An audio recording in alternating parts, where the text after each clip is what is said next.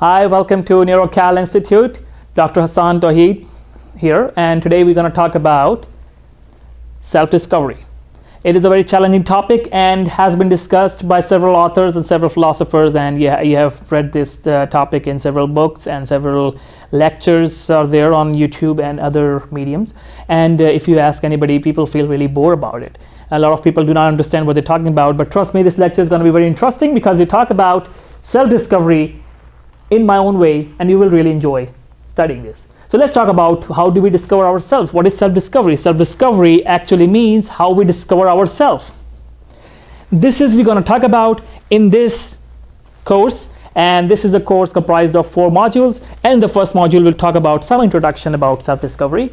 So self-discovery is the, is the discovery of your life, yourself. How do you discover yourself? What is the purpose of your life? How, why you were created? This is self-discovery. So how do you discover yourself? In the first module, we will talk about three main factors which will help you discover your purpose or yourself. Number one,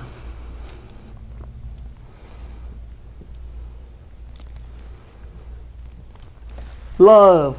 I'll come to that. Number two,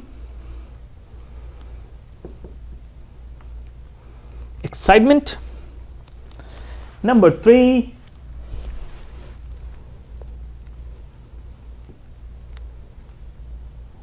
24 hours non-stop and energy.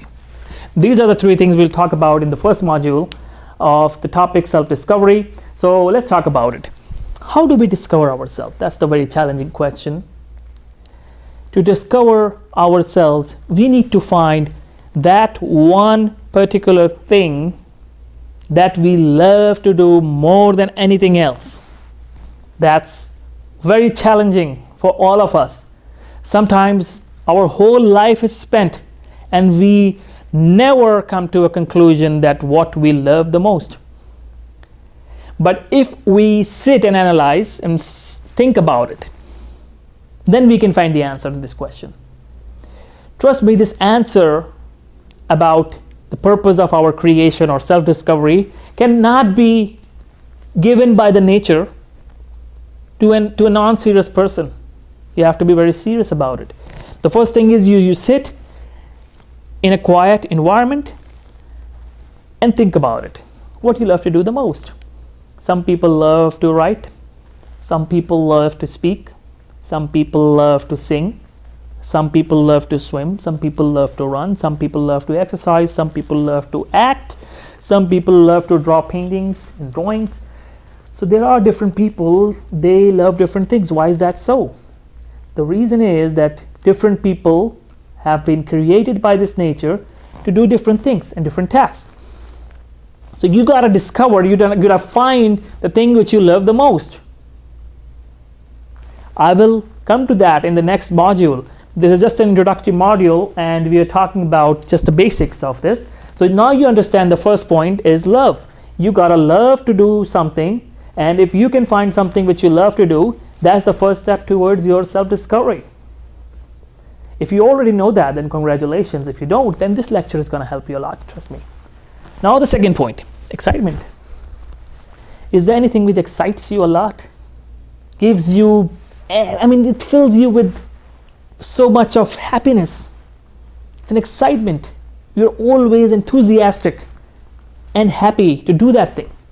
Like some for example some people love to play baseball. Some people love to play football. Some people love to play basketball. Or some people love to perform on a stage and act in plays. Some people love to paint and draw i personally know people who are crazy about uh, drawing and they just feel enthusiastic and happy about think just about thinking about uh, that they will be drawing something that's what I'm talking about. This kind of excitement. That's the second thing.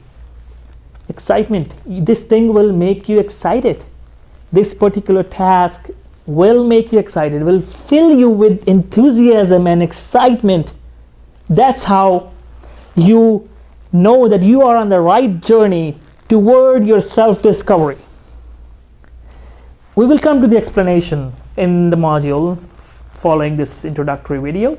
And the third thing, which is a very important thing, which is another hint how you discover yourself or your passion or your purpose, is the thing which you love to do and which excites you the most should be the thing which keeps you alive for 24 hours non-stop. Have you found such a thing? There are people who can do some things which they love to do non-stop 24 hours. I know people, let me tell you an example. I know people who say they love, they love something, but if you ask them, can you do that 24 hours a day? They won't be able to do that. Why is that so? Because that's not their purpose of life. This, this is a thing which you can do non-stop and you totally forget about the world. You are so much into it. You are doing it non-stop 24 hours and your time of sleep is going away and you don't care about it because you are so much into it that you regret, oh, the time is gone, I have to sleep. Okay, I will sleep, but I'll wake up in the morning, I'll do this thing again. That's what I'm talking about. Trust me, these things exist. I myself a living example of it. I love this thing. I love this teaching. That's what I do. I just crazy about it. I can do this 24 hours non-stop. You can see me. I can stand here and make 24 hours of these lectures and I will not be bored and I will not let you go.